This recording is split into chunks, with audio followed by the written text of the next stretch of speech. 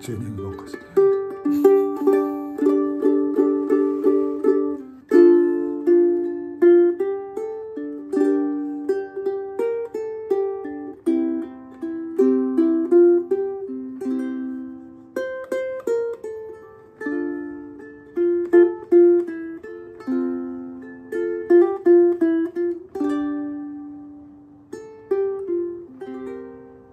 生徒さんのウクレレコーナー、これは僕の、僕のウクレレで、イサナウクレレと言います。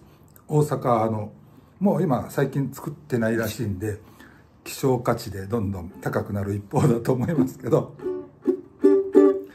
えー、イサナウクレレっていうウクレレが僕のウクレレで、生徒さんが実は同じメーカーの、えー、特注、特注って何て言うんだっけ？ハンドメイド注文って言うんだっけ？どうだっけ？で、イサナさんで特注で作ってもらった青いやつ。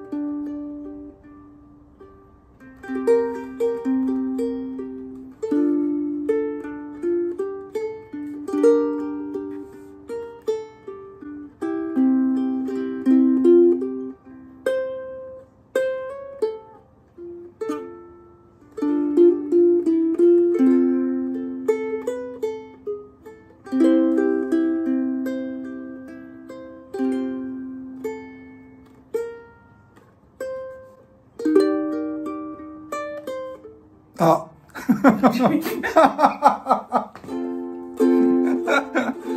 という、えー、2本。師匠ウクレレと弟子ウクレレ2本。でした。じゃあねー